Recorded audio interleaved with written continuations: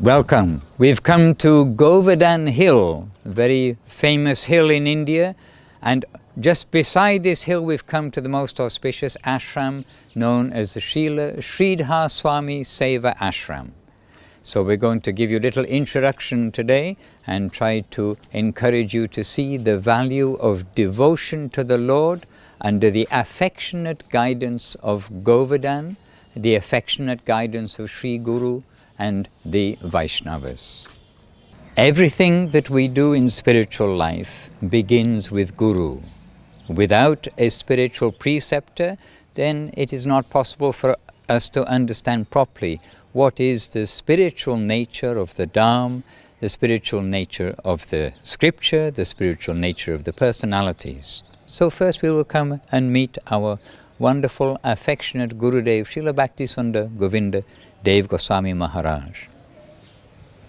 We'll meet him here at his Pushpa Samadhi, the place where here in Govardhan he is worshipped.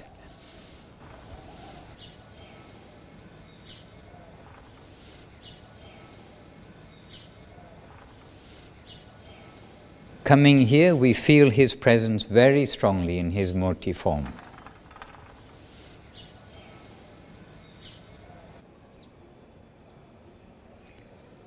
This place we can consider is actually the dearmost place of Srila Govinda Maharaj. He wished to come here to retire from the management and big responsibilities of running the mission and in his later life to write and reveal many truths. So naturally there is the Guru, there is the practitioners, the devotees and there is the deity. So now we shall go and have darshan of the deity here. Krishna revealed that Govardhan Hill is non-different from himself. So it is an established uh, tradition, an established fact that the Govardhan stone is non-different from Krishna.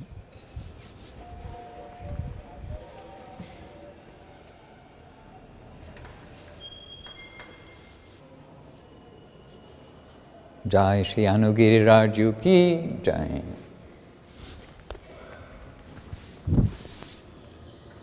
Anugiriraj. And this deity was here already, but it was hidden underground. And when Gurudev was making arrangement for the foundation and for the uh, digging of the water tank underneath the ground here, then at that time the workers came across this large, what they thought immediately, oh, this is a large Govardhan Shila, a large stone from Govardhan Hill.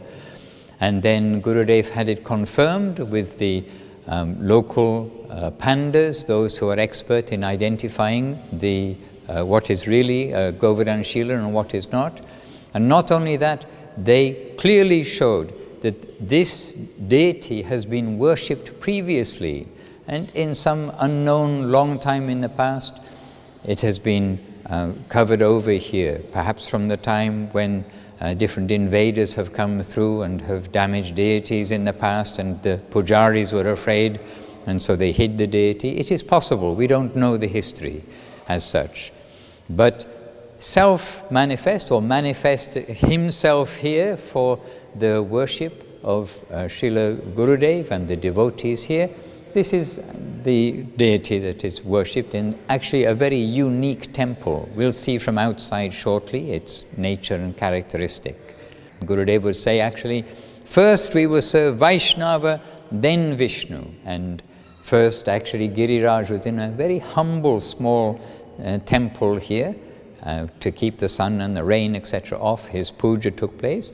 But during that time, Gurudev made some facility for the devotees to stay. Our connection from the material world to the upper world is through service, and in the upper world, our life is entirely service. So this is the first building. it is, oh, it opens up into this U-shaped building, two stories, and the roof. The roof is very clean, beautiful place, especially in the summer for resting. And Srila Gurudev's room was here. And Gurudev sat at the end facing this way, and the devotees would all sit along here and engage in kirtan and hear Harikatha from Gurudev's lotus mouth. So we have many fond memories of being here with our Divine Master. We can see from here it's a double story building. Gurudev's taste himself, he could live anywhere and everywhere very simply, but he's always thinking of the Vaishnavas and those who are visiting and coming on pilgrimage.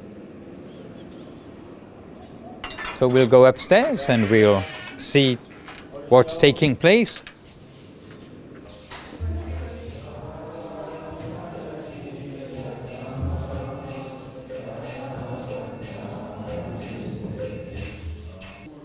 So this is the veranda, the outside part of the L shape. And this is where Gurudev used to sit. Actually, he used to sit in different places, but he's got a bed here with his photo, and he's got pictures of his Gurudev, his Gurudev's Guru, etc., etc., step by step. Though right now the order is not quite the same as it would have been. And uh, so here on this veranda, Gurudev gave very sweet discourses. He was very much at home, very happy to be here. And some reminders of the worldwide mission too, with the St. Petersburg deities, pictures on the wall.